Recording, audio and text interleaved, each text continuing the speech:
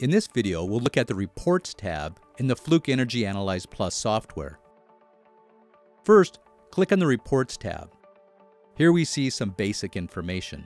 In this summary, it's the information we see on the Project Manager tab. Client, location, description. Next we see the details about the measurement. We have two sets of information, one about the instrument settings and one about the measurement settings. Both will be available in the reports. Next we see two items that we bookmarked in a previous study. The harmonics graph you see here. We can drag the bar graph over here and open it up to get a better look.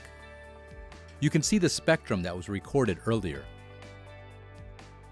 Then we can pull over this graph and look at it as well. Now we have a very simple report. We can export it into this format. This is a preview of the report.